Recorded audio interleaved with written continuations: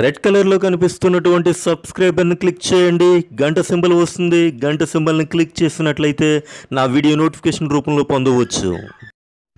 Friends పంతొమ్మిది వందల ఇరవై నాలుగు తర్వాత అంత పెద్దటి వరద ప్రభావాన్ని ఎదుర్కొన్న కేరళ ఇప్పుడిప్పుడే కోలుకుంటుంది ఫ్రెండ్స్. అయితే ఈ కేరళ యొక్క వరద నష్టాన్ని కనుక మనం చూసినట్లయితే ఊళ్ళకు ఊళ్ళు వంతెనలకు వంతెనలు ఎంతో ఆస్తి నష్టాన్ని కలగజేసినటువంటి వరద కింద మనం చూడొచ్చు.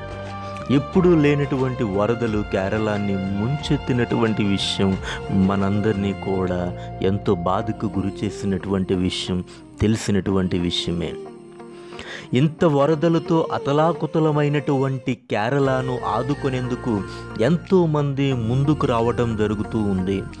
ఎంతోమంది తన యొక్క పెద్దతనాన్ని పెద్ద మనసును చాటుకుంటున్నటువంటి యొక్క ప్రక్రియను మనం చూస్తూ ఉన్నాం ఫ్రెండ్స్ ఇంత వరదలు రావడానికి ఇంత కేరళ ఇంత వినాశనానికి గురి కావడానికి కారణం ఏమై ఉంటుంది అని చూస్తే వాతావరణ శాఖ అంటే వాళ్ళకు సంబంధించిన వాళ్ళు కొంతమంది శాస్త్రవేత్తలు చెప్పినటువంటి విషయం చూస్తే ఇప్పుడు పది సంవత్సరాల నుండి కేరళను మేము హెచ్చరిస్తూనే ఉన్నాము.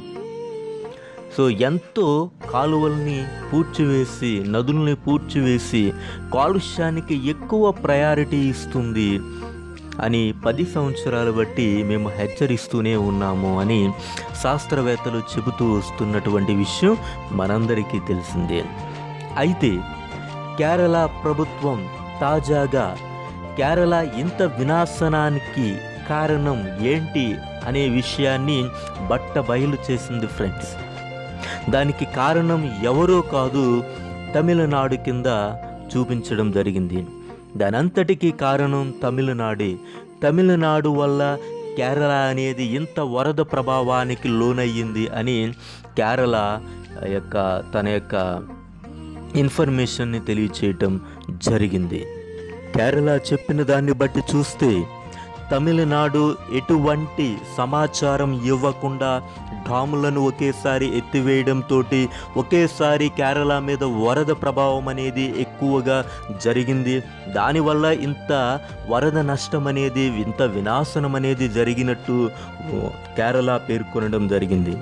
ఇదే విషయమై తమిళనాడు స్పందిస్తూ కేరళ తప్పుడు సమాచారం ఇస్తుంది అని వాళ్ళు చెప్పడం జరిగింది. ముల్ల పీరియడ్ డ్యామ్ గేట్లను ఎలాంటి సమాచారం ఇవ్వకుండా ఎత్తినందుకే కేరళలో వరద ఉధృతి పెరిగిందని కేరళ చేసిన ఆరోపణలను తమిళనాడు ఖండించింది. కేరళ ప్రభుత్వం తప్పుడు సమాచారం ఇస్తుందని టిఎన్పిఎం పళనిస్వామి వ్యాఖ్యానించాడు. ఏది ఏమైనప్పటికీ వరద నష్టం తీవ్రంగా ఉంది కాబట్టి ఎంతోమంది ఆ పనులు సహాయాన్ని కోరుతున్నటువంటి కేరళకి సహాయం చేద్దాం ఫ్రెండ్స్